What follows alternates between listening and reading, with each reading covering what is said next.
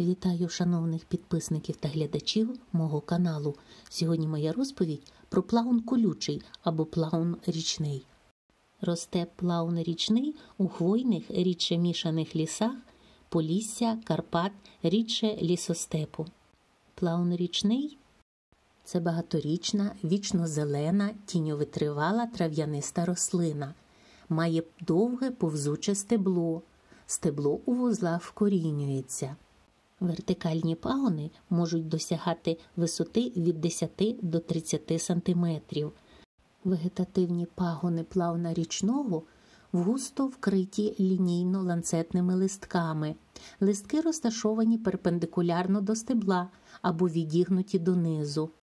Кожен листок загострений у довгий колючий волосок. Як і всі плавноподібні, плавнорічний розмножується спорами. Спори достигають у стробілах, спороносних колостках, які розвиваються на верхівках прямостоячих пагонів. Спороносить плаун річний у липні-вересні. Плаун розмножується спорами і вегетативно частинками пагона. Як декоративну рослину його іноді культивують у ботанічних садах та на присадибних ділянках. Зібрані спори плауна річного, так як і спори плауна булавовидного, використовують в медицині як присипку.